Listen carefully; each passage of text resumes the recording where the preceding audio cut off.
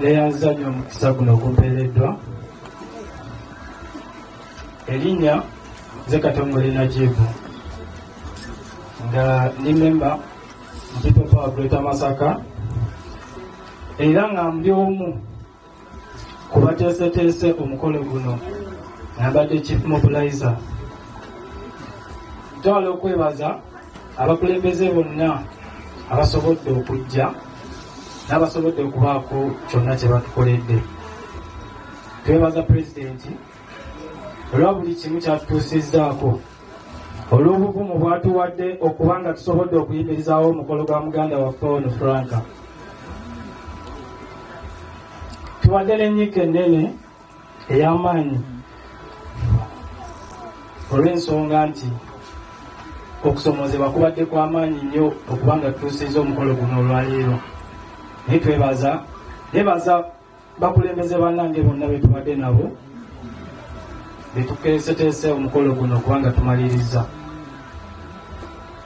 Ntwala okwebaza ttiimu yange pipijam okusobola okuneesiga ne bampa obuvunanyizibwa buno okubeera omu kakiiko akateekateeka omukolo guno. N'okubanga basobodde okuneesiga mbeere omu kwabakulembera okwogera eri abakulembeze bano bonna. Twebaza bannaddiini abasobodde okubaawo okutubeererawo n'okuba nga batubeereddewo mu buli mbeera yonna buli lwe tubeetaaga. Kubanga abantu bangi batya okubeera naffe okuyimirira naffe mu mbeera eno kubanga bamanyi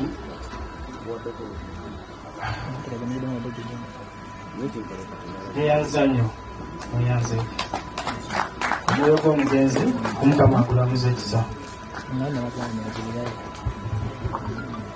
People power our power. Olumu enyiika ekujjula nga banno boogera ensonga zino.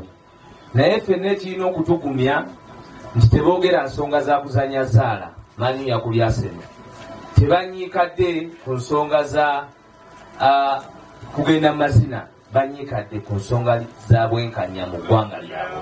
Kyekisinga okubeera ekikulu nti bali ku nsonga ey'okununula uganda. Era twagala okwebaza mr president okugayidinga generation eno neeva gye baali bagisindise kubanga ebiseera awo zaala we yatandikira ng'abavubuka nsanvu ku buli kikumi ku saawa kumi tuba tuyingidde ebiyumba bya zaala okulaba oba asena anaagoba oba taagobebwa atagoba n'ogulinda ogwenkya n'ogwenkya ne gulaalira.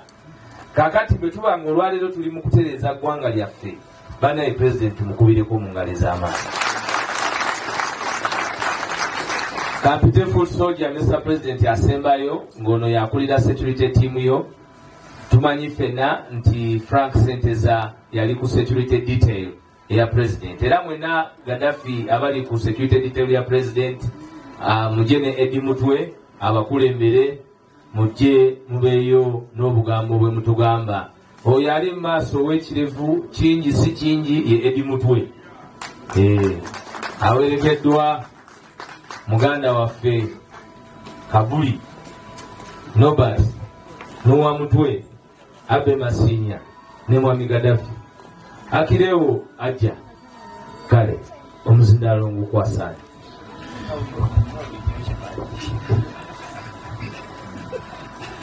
Several Mr. President, Honorable Leader of Opposition, ababaka ba Parliament mwenna abali wano, bakansala n'abakulembeze mwenna mu biti byammwe ebyenjawulo, abalwanyi mwenna aba foot soldiers.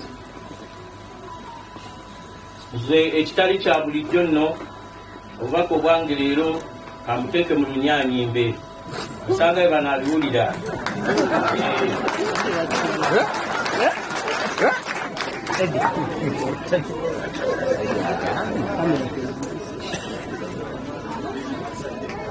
Okay, ladies and gentlemen, today marks three years since our comrade Frank Senteza was brutally murdered by military in Busega. Mwabiraba.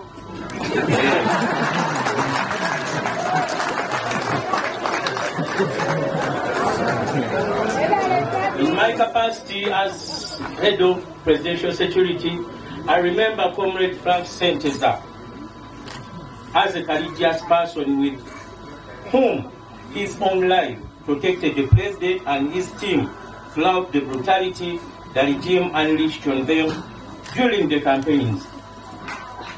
For the bravery, Frank paid the highest possible price on 27th December 2020, but his sacrifice still fuels our commitment to justice and a better country where all of us can coexist peacefully.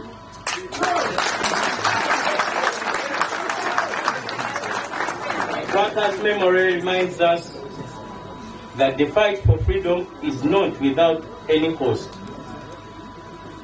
As we gather here today to honor our brother Franca, let us also unite behind the values that he fought so hard for.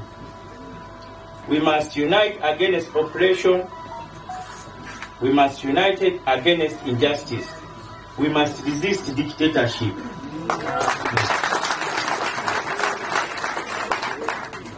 Even more importantly, we demand justice for Frank and other comrades who have lost their lives during the regime, during, before, and after the campaign. Those responsible for his death must be held accountable. We insist on a thorough investigation into the circumstances surrounding Franca's death. We want justice for Frank. Frank might be gone, but the rest of us who remain alive must continue the struggle for Uganda, where every citizen can live without fear.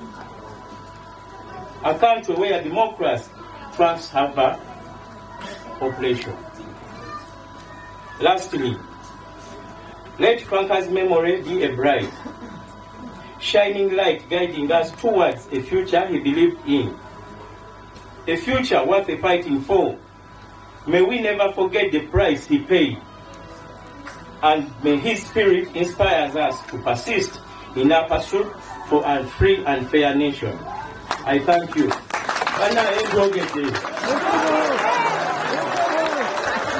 alwogedde talwogedde alwogedde talwogedde alwogedde talwogedde mwongere engalo kwezi oyagala konstituensi ki genda obuze nga luwedde tuliyambala engule tuliyambala engule tuliyambala engule olutalo nga luwedde tuliyambala engule tulivimba mu uganda empya. Tuliyambala tuliyambala engule zimasamasa